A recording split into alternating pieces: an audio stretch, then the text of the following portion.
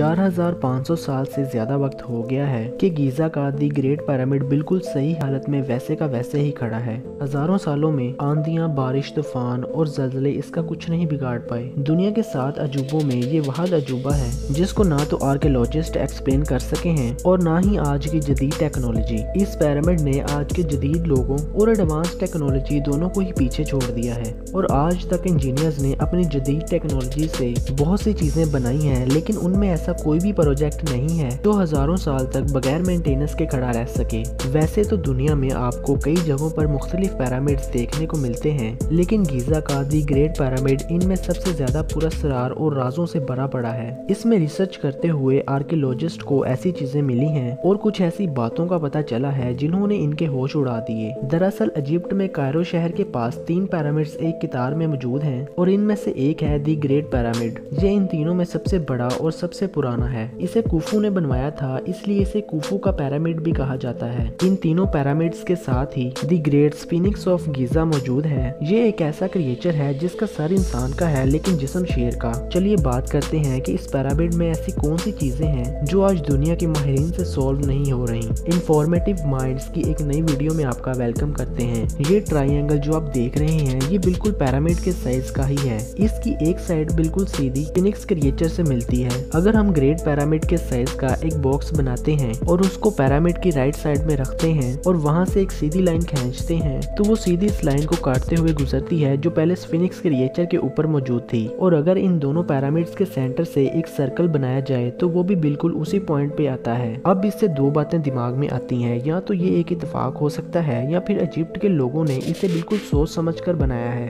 इन pyramids को star constellation को दिमाग में रखते हुए बनाया गया है। अगर पैरामिड के चारों कोनों को देखा जाए तो ये स्पेस में मौजूद चार तारों की डायरेक्शंस को ज़ाहिर करते हैं। अराइज लियो स्कॉर्पियो एक्वेरियस अगर पूरी दुनिया के मैप को देखा जाए और ज़मीन का सेंटर निकाला जाए तो ये ठीक वही पॉइंट बनता है जहाँ गीजा का दी ग्रेट पैरामिड मौजूद है। लेकिन इंसान को तो कुछ सौ साल पहले ही पता चला है की ज़मीन गोल है। इससे पहले तो ज़मीन को फ्लैट ही समझा जाता था। तो इजिप्ट के लोगों ने आज से 4500 साल पहले फ्लैट ज़मीन का सेंटर कैसे निकाल लिया? अब इससे दो चीज़ें हो सकती हैं। या तो उनको पता था कि ज़मीन गोल है, या उनके पास कोई ऐसी टेक्नोलॉजी मौजूद थी जिससे उन्होंने ज़मीन का सेंटर मालूम कर लिया। क्योंकि फ्लैट ज़मीन का सेंटर पॉइंट मालूम करना आज से 4500 साल पहले एक नामुमकिन सी बात है। गीजा के दी ग्रेट पैरामिड को इस तरह बनाया गया है कि ये चारों direction north east south and west को बिल्कुल परफेक्ट बताता है। इसके नॉर्थ पोल की डायरेक्शन में थोड़ा सा फ़र्क आ गया है, वो भी आर्कियोलॉजिस्ट का कहना है कि 4500 साल में ज़मीन की टेक्टोनिक प्लेट्स में मूवमेंट्स होने की वजह से है। लेकिन इसमें हैरान कन बात यह है कि इंसान को तो सिर्फ़ 1000 साल पहले ही इन चारों डायरेक्शंस का पता चला था।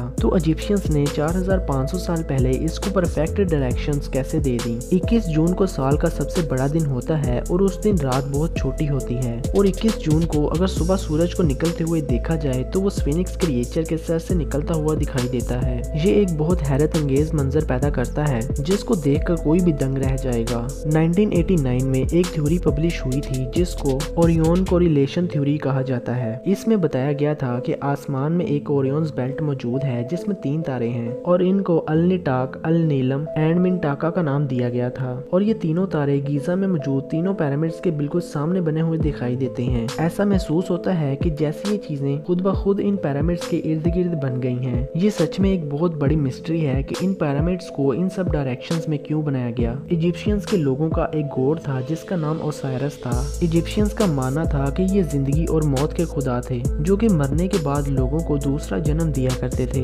इजिप्शियंस का मानना था कि ये तीनों तारे जो ओरियंस बेल्ट में मौजूद हैं, उनके गोड ओसायरस का घर है। लेकिन फिर भी ये इतफाक नहीं हो सकता और यकीन इन पैरामिड्स को पूरी प्लानिंग के साथ बनाया गया था। इस बात का अंदाज़ा इससे भी लगाया जा सकता है क्योंकि पूरी ज़मीन में जितने भी पैरामिड्स मौजूद हैं, उन सबको एक ही दौर में बनाया गया था। लेकिन उस वक्त ना तो लोग इतना सफ़र किया करते थे और ना ही दूर दराज जगहों में लोगों को मिलते थे। इसके बावजूद ज़मीन में जगह जगह एक ही शेप के पैरामिड्स देखने को मिलते हैं। इस सवाल पे एक थ्योरी लिखी गई है, जिसमें बताया गया है कि जैसे आज दुनिया में हर मुल्क एक दूसरे से आगे निकलने के लिए ऊँची ऊँची बिल्डिंग्स और टावर्स बना रहे हैं, शायद तब भी बादशाहों में इस चीज़ का ट्रेंड बना हो और एक दूसरे की तरफ़ देख उन्होंने इनको बना लिया हो। लेकिन इसके बावजूद आज बहुत से सवाल मौजूद हैं। या तो इन लोगों को किसी और मखलूक की मदद हासिल थी, या इनके पास ऐसी टेक्नोलॉजी थी जो हम तक नहीं पहुँच पाई। और इसके पीछे मौजूद वजह ये हो सकती है कि शायद इजिप्ट के दौर के बाद पूरी दुनिया के लोग किसी हादसे में मारे गए हों और फिर इंसान ने दोबारा जन्म लिया हो। क्योंकि तब से अब तक अगर इंसान मौजूद होते तो इतने जदीद दौर में आर्कियोलॉजिस्ट और साइंटिस्ट इन पुरस्कार पैरामिड्स के राजों से पर्दा ज़रूर उठा लेते। लेकिन इन पैरामिड्स को बनाने की ज़रूरत क्यों पेश आई? क्या राजाओं ने इनको अपने मकबरों के लिए बनाया था या ये खुफिया तय खाने थे जिसमें चीज़ों को छुपा लिया जाता था? इन पैरामिड्स के बारे में रिसर्च करते हुए ऐसे बहुत से सवाल आर्कियोलॉजिस्ट के दिमाग में आते हैं, लेकिन इनका जवाब ना तो उनके पास है और ना ही किसी और शख्स के पास। इजिप्ट के लोग अपने मरने वाले इंसानों को जलाया नहीं करते थे। वो मरने वाले के जिस्म पर कुछ खास किस्म के लिक्विड्स लगाकर उसको मम्मी बना दिया करते थे, क्योंकि उनका मानना था कि मरने के बाद भी इंसान अपनी दूसरी दुनिया में ज़िंदा रहता है। और वहाँ वो ऐसे ही ज़िंदगी गुजारता है जैसे वो इस दुनिया में गुजार रहा था। इसलिए उसके साथ सोना, चांदी, कपड़े, माल, मवेशी और वो सारी चीज़ें जो वो इस दुनिया में इस्तेमाल करता था दफना दी जाती थी। और ऐसा माना जाता है कि ये पैरामिड्स मिस्र के राजाओं ने अपने लिए बनवाए थे। और गीजा का दी ग्रेट पैरामिड मिस्र के पहले राजा कुफू ने अपने लिए बनवाया था। अगर इस थ्योरी पर यकीन कर भी लिया जाए तो एक और सवाल खड़ा हो जाता है कि मिस्र में मौजूद पैरामिड्स में से आज तक ना तो कोई मम्मी मिली है और ना ही कोई तबूत मिला है। इससे ये बात साबित होती है कि पैरामिड्स मकबरे नहीं है। इनको इजिप्ट के लोगों को बेवकूफ़ बनाने के लिए मकबरों का नाम दिया गया था। हकीकत में इनका मकसद कुछ और ही है। इनके पीछे छुपा राज मिस्र के राजा अपने साथ ही लेकर मर गए। लेकिन इससे भी बड़ा और पूरा सरार सवाल ये है कि इन बड़े बड़े पैरामिड्स को कैसे बनाया गया था? और इस सवाल का जवाब हमारे पास आज भी नहीं है, क्योंकि इन पैरामिड्स को उस दौर में बनाया गया था,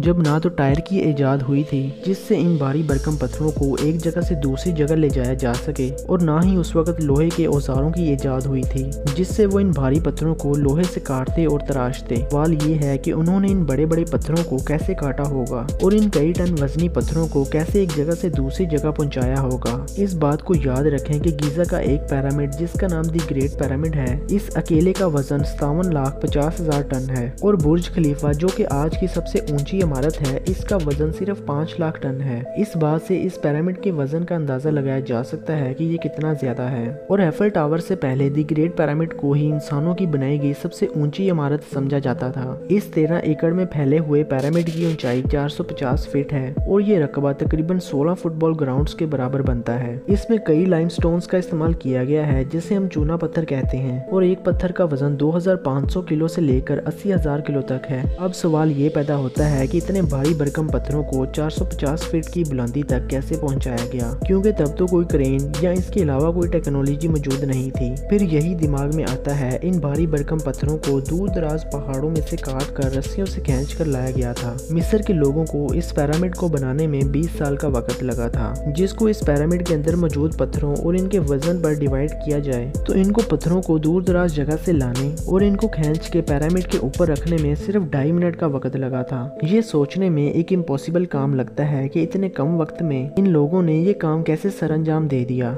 नाजरीन गीजा का दी ग्रेट पैरामिड नामुमकिन इंजीनियरिंग का सबूत है। इसके कमरों को इतनी महारत के साथ बनाया गया था कि अंदर जाने का कोई रास्ता मौजूद ही नहीं है। पैरामिड्स में कुछ मीटर के फासले पर कोई ना कोई टनल देखने को मिलता है। कुछ साल पहले ऐसा माना जाता था कि इनको वेंटिलेशन के लिए बनाया गया है। लेकिन जब आर्कियोलॉजिस्ट ने रिसर्च करते हुए टनल्स में रोबोटिक कैमरे को भेजा तो पता चला कि ये टनल्स तो अंदर से बंद हैं। मिस्र के लोग इन टनल्स का इस्तेमाल वेंटिलेशन के लिए नहीं, बल्कि किसी और मकसद के लिए ही करते थे। अभी तक दी ग्रेट पैरामिड में सिर्फ़ तीन चैम्बर्स को ही तलाश किया गया है, और आर्कियोलॉजिस्ट के मुताबिक इसके अंदर और भी चैम्बर्स मौजूद हैं। लेकिन अभी तक इसके तीन चैम्बर्स को ही डिस्कवर किया गया है, जिसमें सबसे नीचे वाला है बेस चैम्बर दरमियान में मौजूद है क्वींस चैम्बर और सबसे ऊपर मौजूद है किंग्स चैम्बर इस चैम्बर के दोनों तरफ़ दो सुराख मौजूद हैं और इन सुराखों से आसमान में मौजूद मुख्तलिफ़ सितारों को देखा जा सकता है, जिसमें ओरियंस बेल्ट के स्टार्स भी मौजूद हैं। 2011 में दरमियान में मौजूद क्वींस चैम्बर के अंदर एक रोबोटिक कैमरे को भेजा गया, जिससे पता चला कि ये चैम्बर तो अंदर से बंद है। इसके सामने एक दीवार मौजूद थी और उसमें एक पिन लगी हुई थी।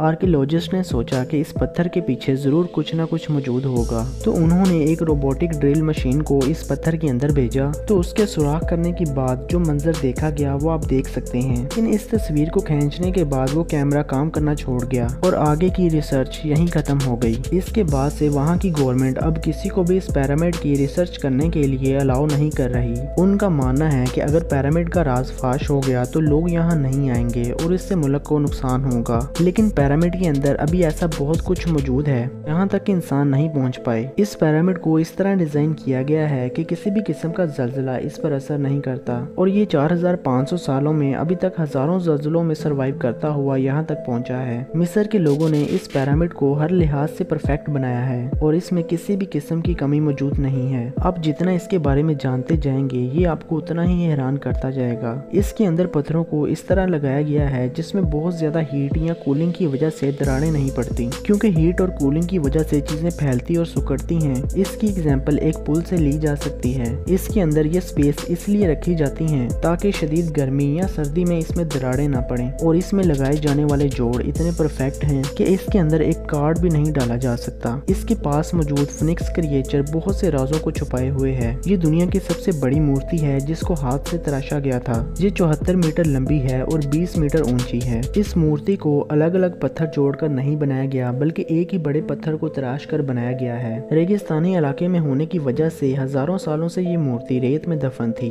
इसमें सिर्फ़ इसका ऊपर का हिस्सा ही नज़र आता था, लेकिन उन्नीसवी सदी में जब इसके चारों तरफ़ से सफ़ाई की गई तो इसकी पूरी शेप दुनिया के सामने आई। जब इसको साफ़ किया जा रहा था तो इसके अंदर से वर्कर्स को अचानक एक सुरंग का दरवाज़ा मिला, जो कि सीधी इसके बेसमेंट में बने हुए एक चैम्बर तक जा रही थी। शुरू में ये स्टैचू कुछ ऐसा दिखता था, लेकिन हज़ारों सालों बाद वक्त की मार ने इसको ऐसा बना दिया। पैरामिड्स के अंदर एक एक्स्ट्रा केव भी मौजूद है और इसमें साल के 12 महीनों में टेम्परेचर 20 डिग्री ही रहता है। रेगिस्तानी इलाका होने के बावजूद इसके अंदर गर्मी नहीं पहुँच पाती और यह केव ठंडी ही रहती है। बारहवीं सदी के आखिर में इजिप्ट के बादशाह अल अज़ीज़ ने इसको तोड़ने की कोशिश की थी। उसकी फौज ने लगातार आठ महीनों तक इसको तोड़ने की कोशिश की थी। लेकिन वो आठ महीनों में इसको बस इतना ही तोड़ पाए थे। वो मुश्किल से एक दिन में एक या दो पत्थर ही निकाल पाते थे और आठ महीनों बाद अल अज़ीज़ ने अपना फैसला बदल लिया और इस पैरामिड को तोड़वाना बंद कर दिया। तो आपको ये वीडियो कैसी लगी? लाइक एंड कॉमेंट करके ज़रूर बताएँ और हमारे चैनल को सब्सक्राइब कर लें ताकि ये वीडियो सबसे पहले आप तक पहुँच सकें।